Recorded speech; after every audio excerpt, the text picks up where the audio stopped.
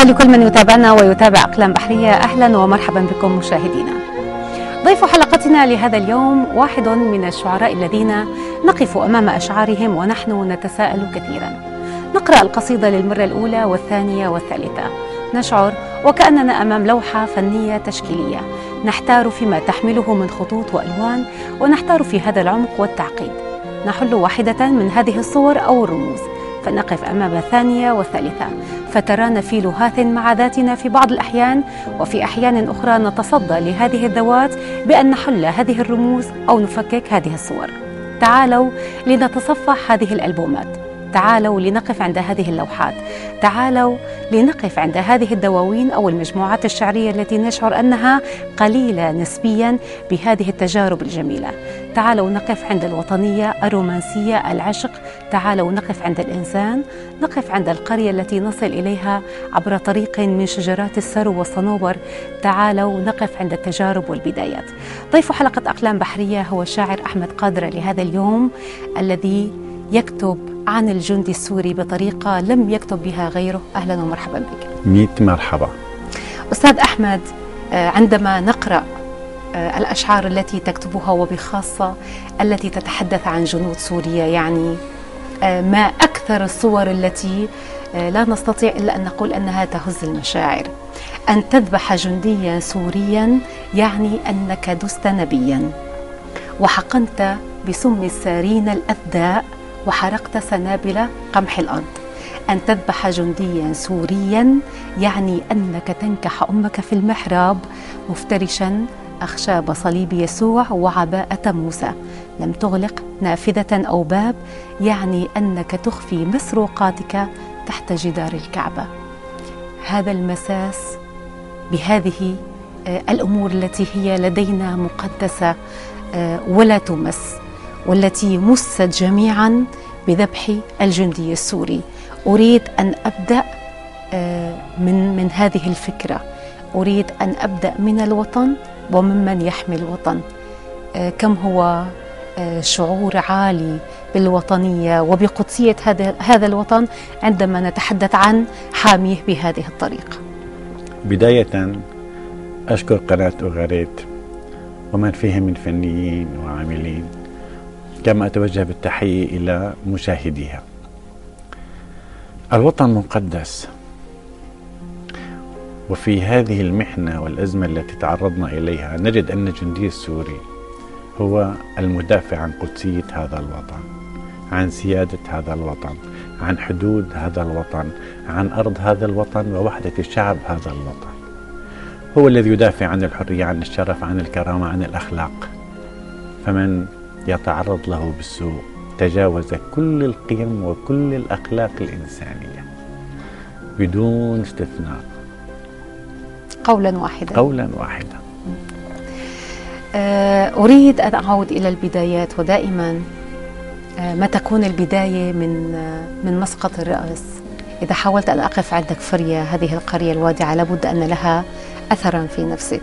وأعلم أنك مؤخرا زرتها من فترة قد لا تكون بالقريبة ولكنها كانت شبه خاوية. آه، أريد أن أتحدث عن كفرية أمس وكفرية اليوم. دعنا نبدأ منها.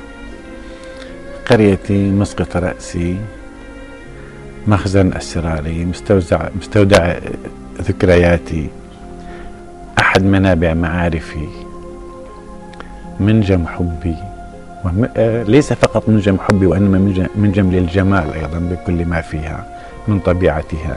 إلى أهلها إلى بساطتها حتى إلى ما لقيته من تعب فيها.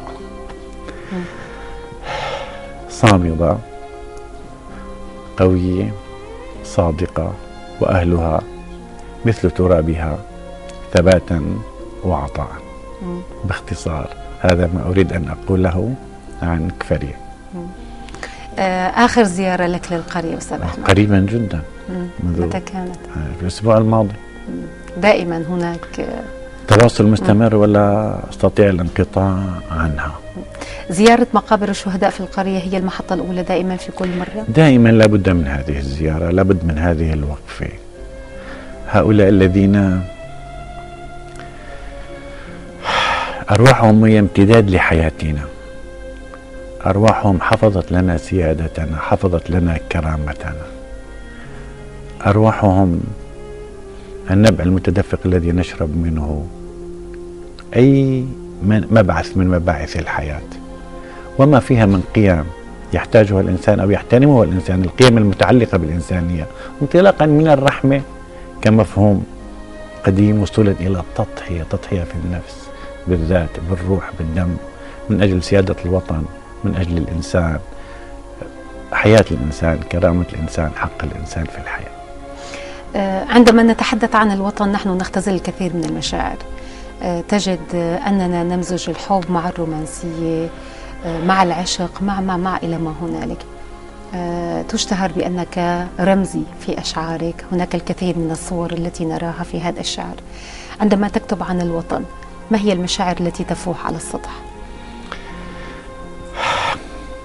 المشاعر في هذه الحالة عندما أكتب عن وطني وأنا أعيش هذه الحالة التي أعيشها الآن. تنشطر. لم يعد لها تسمية محددة. تصبح بركان. لا تعرف مساحة حمامه لا مقرها ولا أين ستستقر ولا, ولا إلى أين ستصل. بركان من المشاعر حب لهذا الوطن. إعجاب وتقدير وتقديس لمن يدافع عنه. إكبار لكل قطرة دم إكبار حتى للكلمة التي تقدس تحب تعبر عن محبة هذا الوطن وضرورة حمايته والحفاظ عليه. هذا وطن البشرية جمعاء وليس فقط للسوريين. سوريا الموطن الأول للإنسان وهي وطن الجميع جميع أبناء الكرة الأرضية. أه، أستاذ أحمد يعني هذا الزخم لا يوحي بأنك أصدرت فقط مجموعتين شعريتين والثالثة هي قيد الطباعة حاليا. أنت جوع يسكن رأسي هي المجموعة الشعرية الأولى أتقرر تجاعيد أحلامي هي الثانية. يعني حتى العنوان يحمل الكثير من الصور. دعنا نقف عند المجموعة الأولى. دعنا نقف عند الرمزية. أه، دعنا نقف عند هذه الكثافة من الصور التي نجدها في كل واحد من الأشعار. عما تتحدث في هذه المجموعة الشعرية؟ ما هي الأمور التي أردت أن تقف عندها وأن تغرقها بهذه الصور؟ أنا أفرح عندما أجد أي مظاهر الفرح لأي إنسان ليس لي أنا وبالتالي أعبر عن فرحي هذا واتعلم كثيرا أيضا عندما أجد أي مظهر من مظاهر الألم حتى ولو عانته زهرة برية حتى لو منعت نحلة من الوقوف على زهرة. معظم قصائد المجموعة الأولى أنت جوع يسكن رأسي قصائد وجدانية. هذه الوجدانية مرتبطة أساسا بالوطن حبي للوطن حبي للأهل حبي للإنسان. أتغنى بها. وأعبر عن فرحي واعتزازي بكل ما هو جميل في وطني من أصدقائي من الناس الذين أعرفهم ممن أريد أن يكونوا. وأتألم لكل مظهر. أراه لا يليق أن يكون في هذا الوطن. ماذا تختار لنا من أنت جوع يسكن رأسي وكان الإهداء فيها للأب والأم والزوجة يعني نجد من الإهداء أنها عبارة عن مجموعة من المشاعر التي تختلط وتندمج بطريقة يحملها الوطن. ماذا تختار؟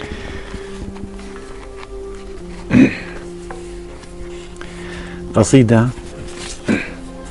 كتبتها وأنا مغترب.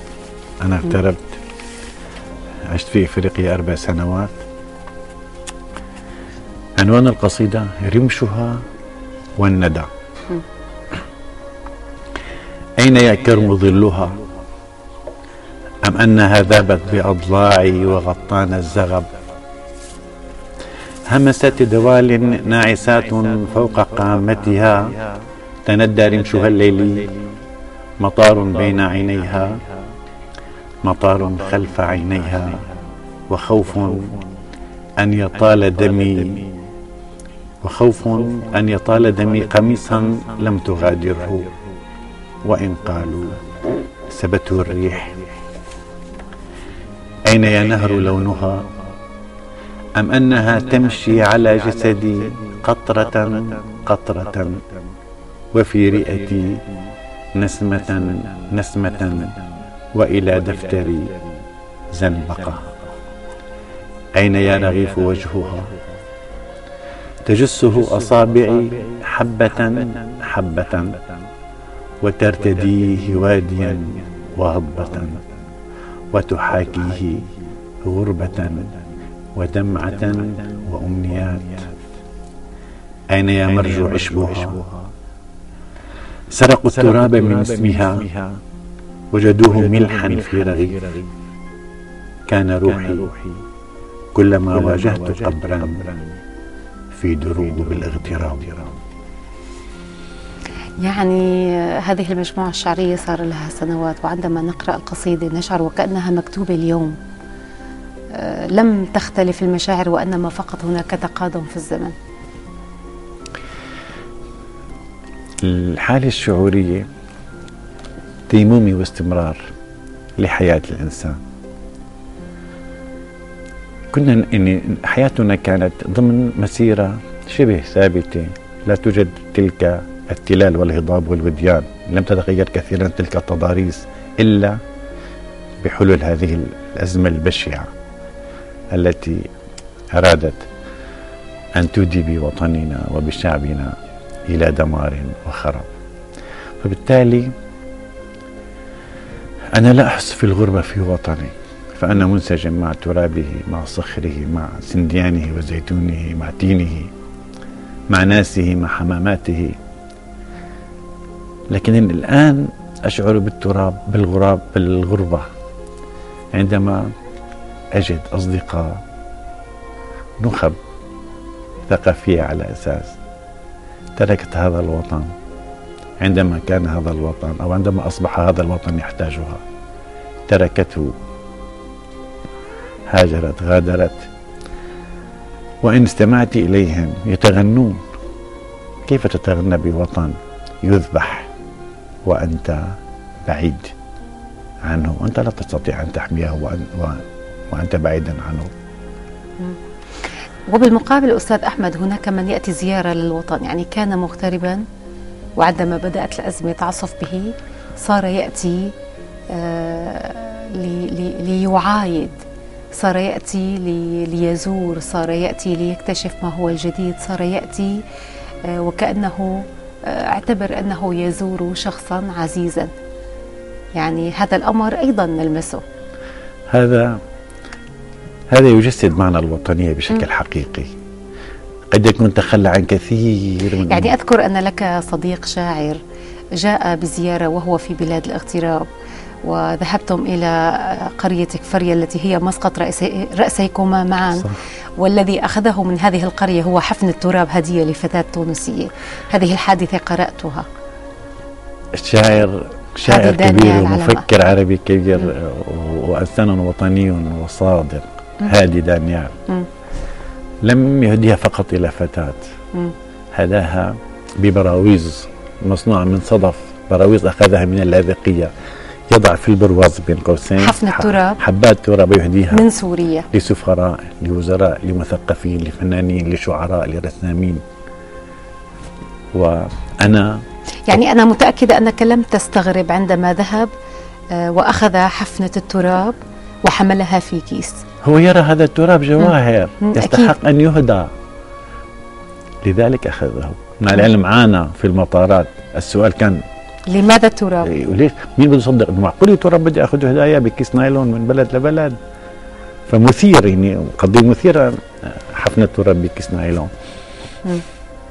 ليست مثيرة عندما يكون التراب من أرض سوريا. مثيرة بالنسبة لغيرنا في نعم. مطارات أخرى وليس عندنا نحن. طبعا نحن تراب وطنينا أغلى من الجواهر. أكيد. آه، أستاذ أحمد آه، في الأزمة نجد أن هناك الكثير من التجارب الشعرية. بعضها حاول أن يصور الحالة بعضها حاول أن آه، يقدم نفسه على أنه شاعر البعض حاول أن يقدم تجارب جديدة. لو حاولت أن أسألك وأنت المخضرم في هذا المجال كيف تقرأ الشخصية الشعرية اليوم لسوريا؟ أنا لا أعترف بحيادية الأدب. آه، وأنا مع من قال إن لم يكن الشاعر أو الشعر مع المظلوم فهو مع الظالم. الشاعر إنسان مستكشف يستكشف حياة متجددة تحتاج إلى استكشاف متجدد. الحياة لا تثبت عبر نقطة ما تتجدد وكشفها متجدد. إذا كشف متجدد لحياة متجددة هذا هو دور الشاعر. يرتبط هذا بحياة نعيشها بواقع نعيشه. قد نتخيل قد نستشرف قد نتأمل قد نحلم لكن يجب أن لا ننسى أننا مرتبطين بأرض مرتبطين بمجتمع وليست حريتنا وكرامتنا. لا خارج هذا الأرض هذه الأرض ولا خارج هذا المجتمع. فالشاعر هو من ينطلق برأيي من هذا الأساس. طبعا دون أن أن يكون ذلك على حساب الفنية في الشعر أو القضايا الفنية أو فنية الشعر. هذا هو الشاعر. والذي يجب أن يكون له دور فيما يتعلق بالناس البشر حياتهم. تكوين رؤاهم المستقبلية. يستطيع الشاعر من خلال ما يكتب أن يساهم في تكوين الرؤى لدى قرائه. هناك الكثير من القصائد الجميلة التي يقف أن يجب أن نقف عندها في هذه المجموعة الشعرية. أتقرى تجاعيد أحلامي هي المجموعة الشعرية الثانية. والتي فيها قصيدة لنورة. نورة هي عنوان المجموعة الشعرية الثالثة التي هي قيد الطباعة. صح. آه، هل نورة آه، شخصية أم وطن؟ نورة هي وطن. لكن هذا الوطن كانت تتسع يتسع يتسع مجال الحبيب جدا حتى يصبح وطن. وليس هناك أروع من أن تصبح قيمة المحبوبة أو مكانتها أو اتساعها باتساع الوطن. أنا لا أجد تشبيها يعظم المحبوبة يزيد, يزيد في جوهرتها أكثر من تشبيهها من تشبيهها بالوطن. ماذا نسمع من أتقرى تجاعيد أحلامي؟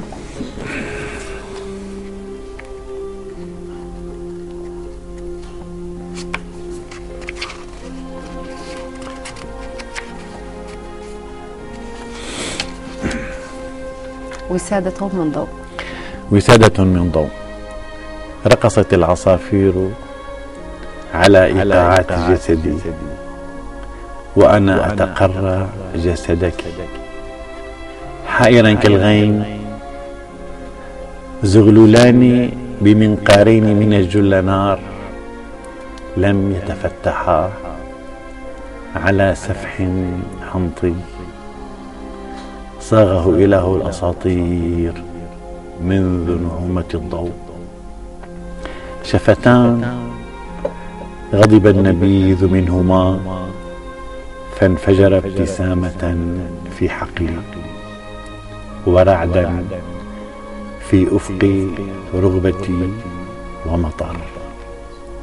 طوقتك بإكليل من رموشي دثرتك بعباءة من جلدي.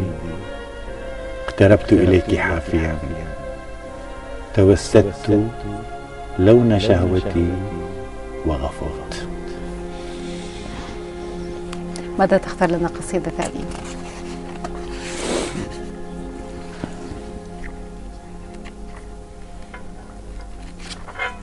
آه، من نفس المجموعة؟ نفس المجموعة. يعني المجموعة الشعرية الثالثة فيها قصائد جديدة نورة. في قصائد جديدة. هي من ملتقيات أدبية كنا نسمع بعضها. أحضرت بعضا منها. نسمع واحدة بعد القصيدة الثانية. لا أدري.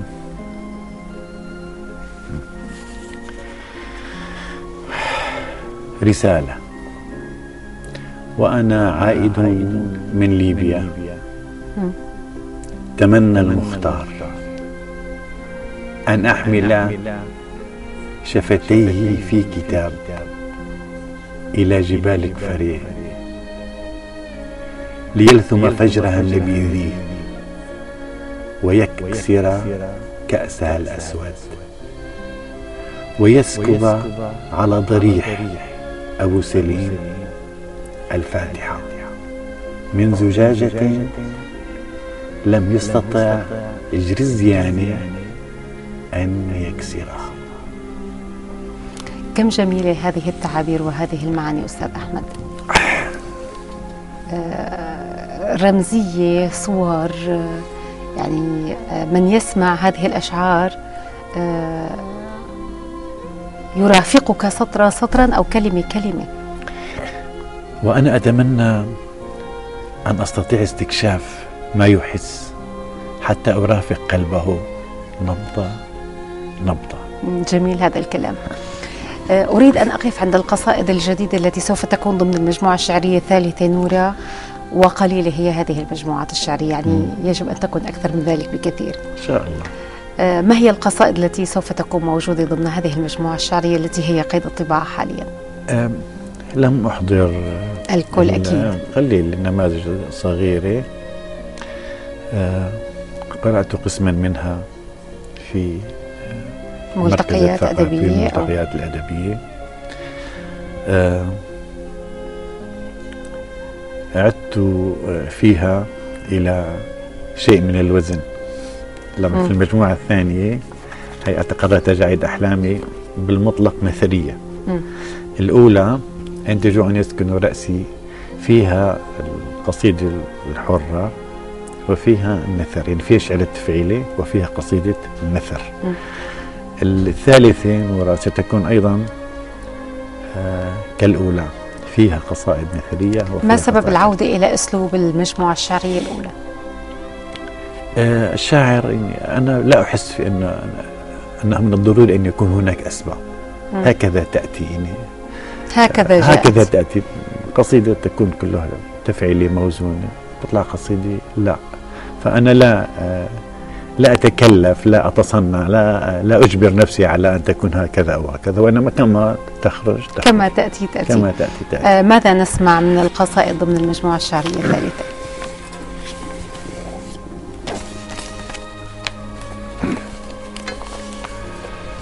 يعني قرأت لك قصيدة ضمن المجموعة آه، ضمن لقاء أدبي ربما أو ظهرية شعرية كانت في المركز الثقافي. فيها صور جميلة جدا عندما تحدثت عن شجرة دعوتها لأن تتفيأ معك.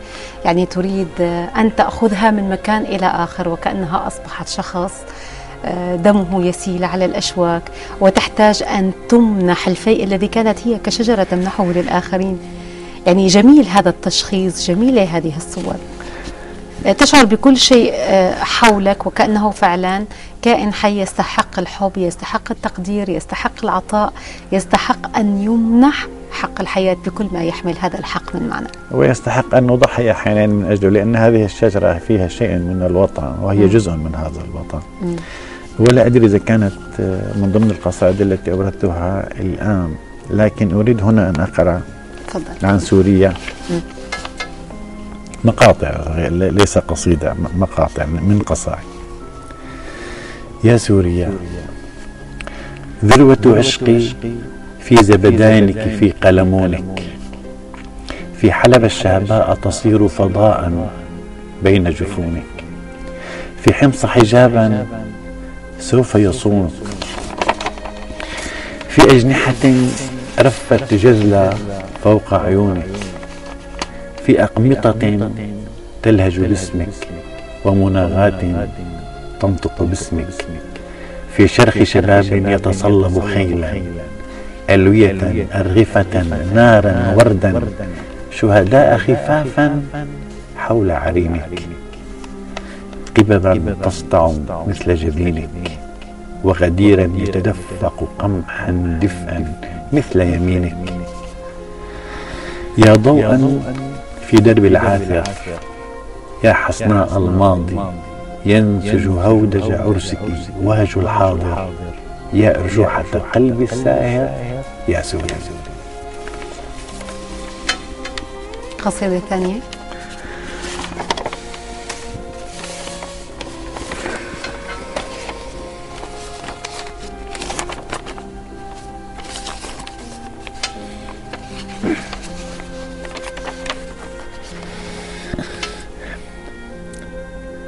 قصيدة لمثقفين. غادر الوطن أم جاء؟ غادر. غادر. غادر الوطن. كالكثير من المثقفين وفي كتاباته الكثير عن حب الوطن لكنه فأنت غادرت. أن تحمل صورة أمك في محفظتك وتنفخ جمرا مسوسا في كومة قش. أن تحمل بعض رماد أبيك على معطفك أو في محبرتك وتشعل فانوسا للص القادم صوب التفاح. أن تجعل اسم بلادك حبلا في حنجرتك وتفتح لغرباء الدار. أن تبني برواياتك أبراجا من نور وتحفر أنفاقا بيديك حصونا لجبات الأرواح. أن تعرف هذا أو لا تعرف سيان سيان لن تحمي وطنا صرت بعيدا عنه. لن تبني لحمائمك البيض بيوتا من طين الكلمات. لن تستنشق أمك زهرة معرفتك. من أي الأعماق اخترت لنفسك ذروة؟ من أي الأعماق اخترت لنفسك ذروة؟ من أي الأحشاء اخترت الوطن الصلب؟ من أي غيوم تأتينا بالمطر المالح؟ من أي كهوف تستولد أفخاخ النار؟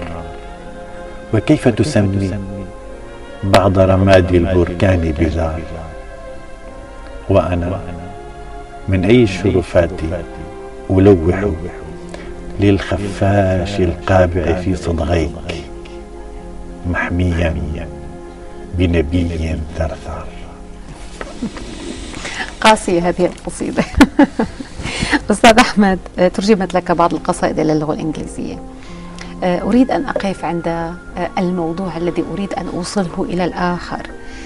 ما هي الأمور التي أنت حريص على إيصالها؟ ما هي الأفكار التي تريد أن تصل لمجتمعات لا تقرأون القراءة الصحيحة. لا تقرأ إنساننا لا تقرأ شخصيتنا إن كانت شعرية وإن كانت إنسانية وإن كانت سياسية. لا أدري إذا كان الاختصار يكفي أو يشف عن كل ما أريد. أول ما أفكر به أول ما أطمح بأن أوصله هو مفتاح. افتح عقلك أيها الإنسان. يا من تقرأ. ويا من لا تقرأ. فقط افتح. صعب شوي. افتح عقلك. شغل عقلك. حتى لا يكون العقل محنة. شغله. إن لم تشغله فهو محنة ومحنة كبيرة جدا. هذه المحنة لا تنعكس عليك فقط كشخص. تنعكس على مستقبلك مستقبل أمتك مصيرك. وبدل من أن تكون فاعلا أو يمكن أن تكون فاعلا. تصبح. ثانويا هامشيا. مكبا لقمامات الآخرين تصبح. طبعا هذه القمامات التي فكرية وهمية ثرثرة. كل من يريد أن يرمي شيء فطالما أن عقلك مغلق فأنت مرمى لكل شيء. في نورة هناك مجموعة من هذه القصائد التي تستحق من خلالها على التفكير وعلى استخدام العقل بهذه الصورة؟ أه حتى فيما قرأت اليوم توجد بعض هذه المفاتيح والتي أصر وأؤكد عليها لأن هذه محنة محنتنا كبيرة. نحن لا نشغل عقولنا بشكل صحيح. وحتى العقلاء. يشترون. وببساطة يعني ثقافتنا لدينا مثقفون كثر لكن معظم هؤلاء المثقفين للأسف تقنيون يعني يبيعون ثقافتهم يبيعون معرفتهم. يعني أنا لا أقدس لا أقدس نبيا كتابه قرآنه أنجيله أوراق نقدية. لا أقدس ولا أحترم. ولن لن نتمكن من أن آه، نجمل آه، القول بهم أو يكون قولنا فصلا بهم إن لم نشغل عقولنا. ومن لم يشغل عقله قابل للتأثر بأي آخر. يعني تتأثر أنت تكون متأثر ولست مؤثر. لذلك أنا أريدك أيها الإنسان وخاصة أيها الإنسان السوري وخاصة اليوم أن تستعمل عقلك في كل ما تسمع وترى. لا أريد منك أكثر من ذلك. وليكن ليكن الناتج ناتجا عن استخدام هذا العقل. نتمنى أن نقرأ في البداية. لنستطيع أن نشغل العقل. نتمنى أن نكون فاعلين وليس منفعلين بشكل أو بآخر. أستاذ أحمد قدر سعيدة بوجودك بأقلام بحرية لهذا اليوم سعيدة بهذه الأطلال السريعة على هذه القواصد القصائد التي تستحق الجوائز التي منحتها والتي نتأمل فعلا أن تزداد بمجموعات شعرية أخرى ونتمنى أن يقرأها الجميع لأنها تستحق أن تقرأ في هذا الوقت. أهلا بك مرة ثانية. شكرا. آه ثاني مرة المرة الثانية أحييكم وأشكركم أشكر قناة غريبة كل من يعمل فيها ومشاهديها أيضا. وأتمنى الاتساع وأن تصبح فضائي قريبا إن شاء الله. إن شاء الله. شكرا لك. ولكم أيضا مشاهدينا كل الشكر على حسن المتابعة. نلتقي وإياكم يوم السبت القادم. ونتمنى أن تكونوا بخير وصحة وعافية. إلى اللقاء.